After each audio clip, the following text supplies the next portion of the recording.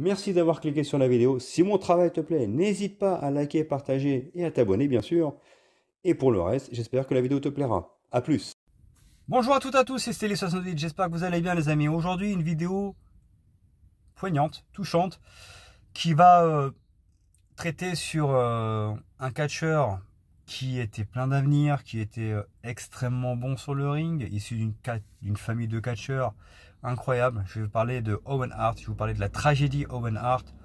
Euh, ce catcheur, le frère du légendaire Bret Hitman Hart, qui est décédé à l'âge de 34 ans d'un accident gravissime euh, qui euh, a quand même ému beaucoup de sportifs, non pas que les catcheurs, mais même de personnes en général, parce que ce qui est arrivé est quand même assez grave, assez traumatisant. Et je voudrais revenir sur la carrière d'Owen Hart qui certainement sans son décès aussi euh, prématuré, malheureusement aussi rapide, euh, aurait euh, eu un palmarès bien plus étoffé et certainement aurait fini par être champion du monde poids lourd parce qu'il avait un talent incroyable. la famille Hart est une famille de catcheurs absolument remarquable et il fallait que je vous parle de Owen, tout simplement. J'espère que la vidéo vous plaira. Hum, c'est une vidéo qui me tenait à cœur. Hum, je sais que les vidéos de catch ne font pas forcément autant de vues que cela. Mais sur ma chaîne, j'ai envie de parler par exemple de choses qui me touchent. Et là, j'avais envie de parler d'Owen Hart, tout simplement. Euh, parce qu'il est décédé le 23 mai 1999 pendant le pay-per-view Over the Edge. C'est pour ça que je vous dis que c'est traumatisant. Il est mort en direct. Euh, enfin, je vous expliquerai plus tard durant, la vidéo. Et euh, bon, voilà, on est au mois de juin. et j'y pensais, parce que j'ai vu un reportage l'autre fois sur Owen Hart, j'ai vu un reportage sur Brett où il reparle de Owen, et je me suis dit, tiens, il faut que j'en parle quand même. le catch est un divertissement, mais il y a aussi eu des tragédies franchement émouvante. Je vous en reparle.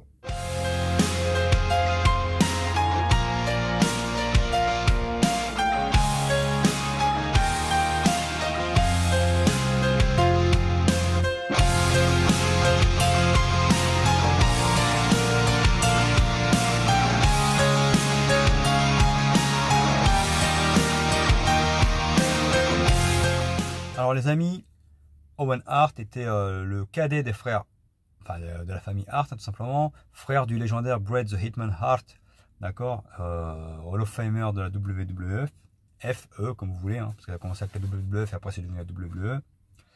Euh, la famille Hart a eu, a eu pour particularité d'avoir été entraîné par le légendaire Stu Hart, donc leur père, qui était un entraîneur de renom au Canada, dans le donjon Hart, c'est comme ça qu'il était appelé.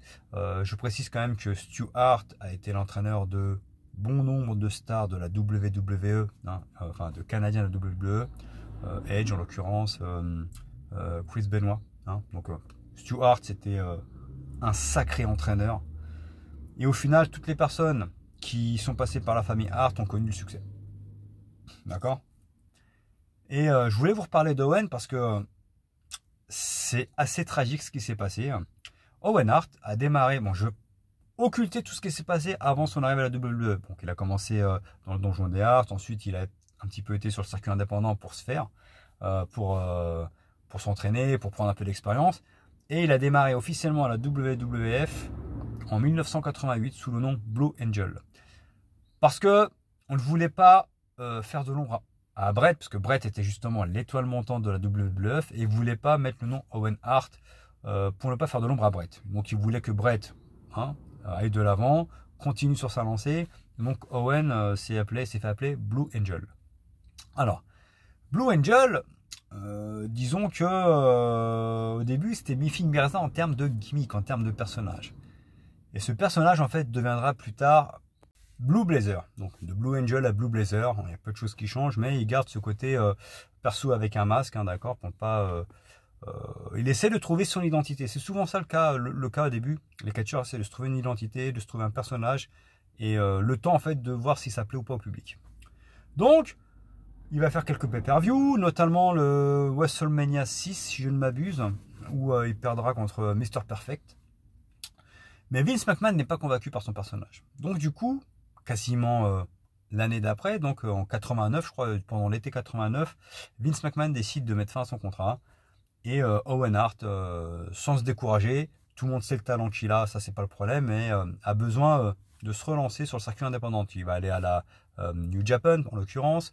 Il va également passer par la WCW, tout simplement. Mais notamment sur le circuit indépendant, notamment même le catch en Europe, il va s'entraîner, il va parfaire son personnage, parfaire sa technique, il va vraiment aller sur le circuit indépendant afin de d'essayer de reprendre de l'expérience et essayer vraiment de réellement s'affirmer.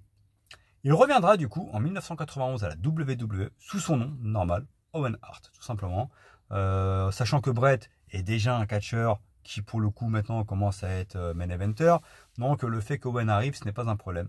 Et bien au contraire, euh, afin de le mettre en avant, il va tout simplement être le catcheur un peu arrogant, la tête à claque que tout le monde a envie de claquer justement parce qu'il est chiant, il sait qu'il est bon, il sait qu'il est doué, mais euh, c'est volontairement en fait qu'il va devenir chiant et il va se mettre en rivalité contre son frère Brett. En sachant que Brett est au top de la popularité de la WWF et ben le fait que Owen s'attaque à son frère en disant euh, je suis meilleur que toi, t'es mon frère aîné mais moi je suis meilleur que toi va permettre justement de le mettre en avant. Et Brett incroyable dans le fait que c'est le frère aîné, il aime son frère, va tout faire pour pousser son frère pour que son frère soit adopté par le public, pour que son frère soit reconnu comme un grand catcheur. Et donc, ils vont avoir un affrontement légendaire à WrestleMania 10, en match d'ouverture de WrestleMania. Je précise que c'est pour moi le meilleur match d'ouverture de l'histoire de WrestleMania. On ne pouvait pas commencer meilleur WrestleMania que ce, que ce match entre Brett et euh, Owen qui est absolument remarquable. Et c'est Owen qui gagnera. Et au final, euh, c'est Brett qui avait décidé de dire à Vince, faut que je perde contre mon frère Owen. Comme ça, on va le mettre en avant. Et Vince a trouvé ça très beau. Et au final, tout se passe très bien pour les Hart euh, durant ce pay-per-view parce qu'à WrestleMania 10, euh, ce sera Brett au final qui sera également dans le main event et deviendra champion du monde poids lourd. Donc au final, il perd le match d'ouverture, mais il devient champion à la fin, donc tout est bien qui finit bien. Owen gagne, Brett gagne, la famille Hart est mise en avant.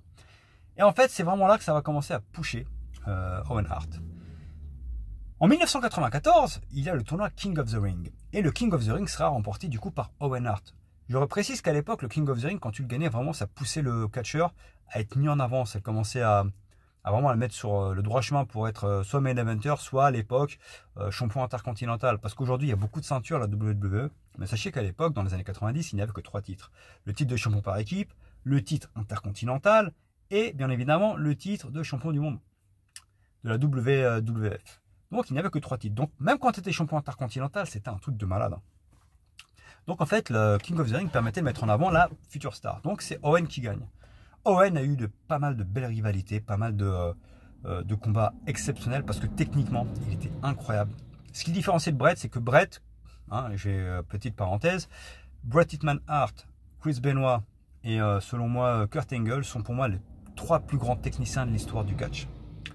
Et Brett, techniquement parlant, était un général sur le ring, il était imbattable. Owen, ce qu'il avait en plus de Brett, peut-être, c'était son agilité. Il était très technique parce qu'il a été entraîné par son frère, par son père.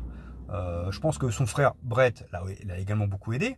Et ils étaient bons techniquement, mais Owen avait en plus ce côté euh, euh, un peu faux follet. Il était vraiment très très agile, donc il avait ce côté agilité que n'avait pas Brett en l'occurrence. Et Owen nous a offert des matchs mémorieux, mais vraiment incroyables sur le plan technique, sur le plan de la folie, sur le plan euh, même du feeling. À chaque fois qu'il se battait contre un catcheur, il y avait toujours une osmose. On voit qu'il s'adaptait à toutes les, toutes les, toutes les catégories de catcheurs. Euh, le plus costaud, euh, le plus agile, le, moins agile. Il arrivait toujours à faire en sorte de les mettre en avant, ce qui fait que les matchs étaient toujours très intéressants. Il y a eu des rivalités légendaires contre Shawn Michaels, bien entendu, mais également une vraie fraternité, on va dire, avec la Hart Foundation, en l'occurrence, avec la famille Hart, parce qu'avec son beau-frère Jim Neidhart et avec British Bulldog, ils seront à multiples reprises euh, en équipe, hein, d'accord? D'ailleurs, Brett euh, dira toujours que Owen était meilleur que lui. Il a toujours dit. En fait, intrinsèquement, Owen était meilleur que moi. Mais on n'a jamais vraiment pu le voir parce qu'il est décédé à 34 ans, malheureusement. C'est assez triste, en sachant que pour, euh, il a quand même eu un, beau palmarès, malgré, en sachant que c'était encore, il était encore au pic de sa carrière hein, quand il est décédé, parce qu'il avait encore de belles années devant lui. Il a quand même été euh, au final euh, quatre fois champion par équipe, deux fois avec son beau-frère Jim Neidhart, une fois avec ce British Bulldog, du coup, son autre beau-frère, et avec Yokozuna. Euh, il a été deux fois champion intercontinental, et une fois champion européen. Donc il a quand même eu un palmarès pour quelqu'un qui était, on va dire, aux prémices de sa carrière en l'occurrence, parce qu'il est revenu à la WWE en 91 et il décède malheureusement en 99 lors du pay-per-view Over the Edge, j'y reviendrai plus tard.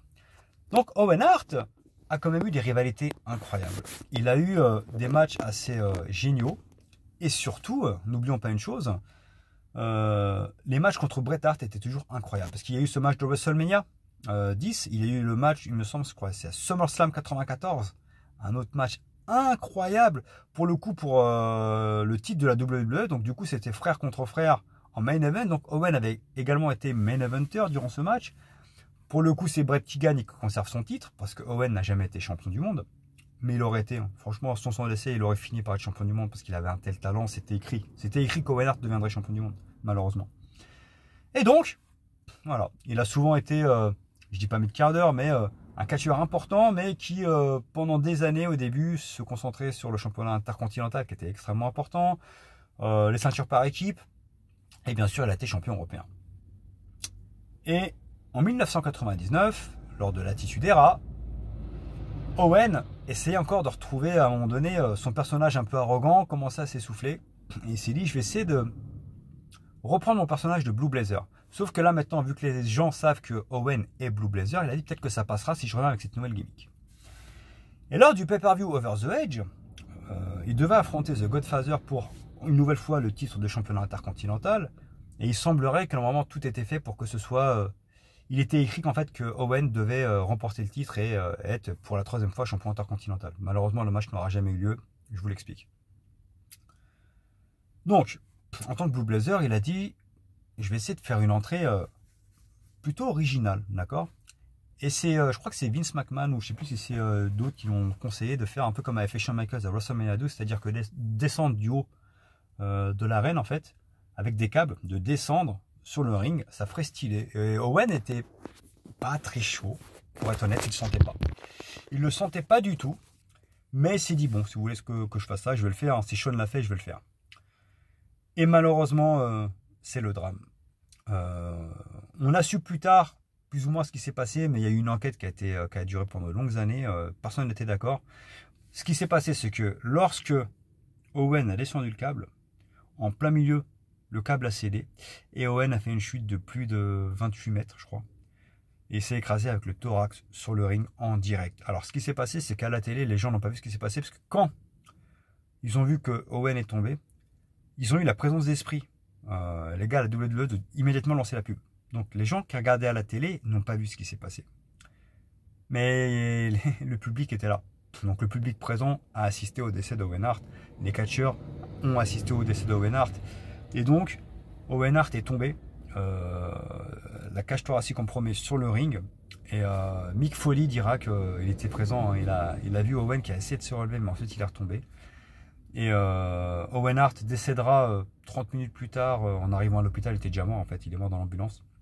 En fait, la horte aura été complètement pulvérisée et il sera mort tout simplement à suite de cette chute à 34 ans, le 23 mai 1999. Et il y aura une polémique qui se fera, c'est que après son décès, donc le papier n'était pas fini, Bret Hart, comme beaucoup de catcheurs, reprocheront à Vince McMahon d'avoir malgré tout continué le show. C'est-à-dire qu'au lieu d'arrêter le show, on arrête là. Business is business. Il a décidé de continuer le show alors qu'Owen était décédé, tout le monde le savait. Et apparemment, je n'ai jamais vu ce pay-per-view Over the Edge. D'ailleurs, j'ai pas trop envie de le voir parce que c'est leur bizarre. Les catcheurs sur le ring, apparemment, n'étaient pas dedans. Et même le public savait qu'Owen était décédé parce qu'il y a eu le communiqué qui a, annoncé le décès d'Owen. Et même le public qui était sur le ring, en fait, n'était plus là. En fait, il était amorphe. Et effectivement, ce pay-per-view aurait dû être, selon moi, après le décès d'Owen, confirmé, être annulé. Donc Brett s'en prendra énormément à Vince McMahon parce qu'il n'aurait pas, n'aura pas compris pourquoi le pay-per-view a été maintenu. Et euh, ça aurait été très très très très dur pour, euh, pour Brett, pour toute sa famille, sa femme, ses enfants. Et ensuite, après enquête, on se rendra compte que c'est le mousqueton qui a lâché. Euh, au début, les gens disaient ouais mais c'est Owen qui s'est mal attaché. Donc en fait quand il a fait la moitié de la chute, en fait il est tombé. Et en fait on se rendra compte que le mousqueton, euh, il y avait un double mousqueton. Et en fait quand il est descendu, en fait, au lieu de mettre le double mousqueton, on en a mis qu'un seul. Et en fait, le mousqueton, quand il a lâché, bah, il n'y avait pas un deuxième mousqueton de protection. En fait, c'est pour ça qu'en fait, Owen est tombé. C'est euh, assez tragique. C'est un, accident qui aurait pu largement être évité avec un deuxième mousqueton de secours, tout simplement. Donc voilà, je voulais vous reparler d'Owen Hart, un catcheur qui était plein de talent, qui a eu euh, euh, des matchs excellents. Et vraiment, il était très bon sur le ring, en dehors du ring. Son personnage de heel était vraiment excellent. Et à n'en point douter, hein, il était parti pour plus tard euh, devenir champion du monde poids lourd, parce qu'il aurait été champion du monde poids lourd. Euh, il avait quand même l'héritage des Hart en lui, il avait le talent des Hart. Et euh, s'il n'avait pas eu cet accident, il aurait été pour une troisième fois champion intercontinental. Et bien évidemment, quand tu es trois fois, quatre fois champion intercontinental à la WWE, à un moment donné, ils te font step up, justement, que tu deviennes main eventer et que tu commences à viser le champion de la du monde poids lourd. Il aurait certainement été champion du monde poids lourd, c'est clair. Mais voilà, je voulais vous parler de Owen Hart. Euh, J'en parle avec beaucoup d'émotion encore parce que j'aimais beaucoup ce catcher. Et euh, encore aujourd'hui, l'émotion est très vive lorsqu'on parle d'Owen Hart parce que la WWE, Vince McMahon, euh, en ont pris plein la gueule. C'est mérité, je pense. Parce que lorsque tu fais descendre quelqu'un d'aussi haut, plus d'une trentaine de mètres avec un câble, tu t'assures quand même qu'il soit bien protégé. Et visiblement, la sécurité n'a pas fait ce qu'il fallait. Et euh, l'enquête a duré de nombreuses années. Voilà tous les amis, c'était une vidéo sur Hart. J'espère que vous a plu. Likez, partagez, abonnez-vous. Ciao, ciao.